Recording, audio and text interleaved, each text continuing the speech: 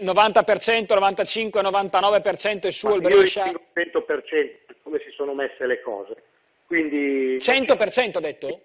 100%, sì sì lo posso confermare, se Corioni non sconferma io posso dire per, quanto sono messe le co- per come si sono messe le cose e per come stiamo lavorando per noi si procede. Poi ci sono i tempi burocratici chiaramente per i passaggi.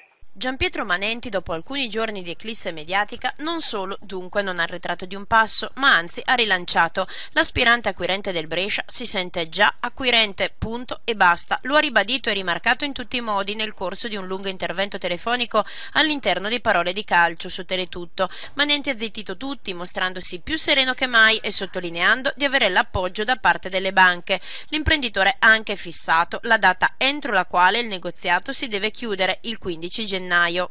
Stiamo vedendo tutta la parte documentale e poi faremo l'incontro con le banche.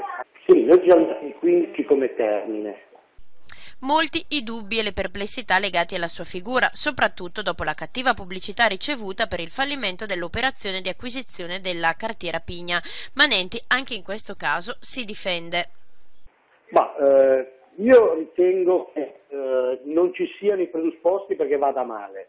Ho visto che mi è stato attribuito più volte la non chiusura, la cosa, ma sono cose non reali. Io ritengo che questa è una trattativa differente da quella precedente, che avete citato più volte, perché anche ho visto che è stato scritto che bah, è andata, no. Allora, Pigna è stato eh, depositato il denaro presso un notaio di Milano.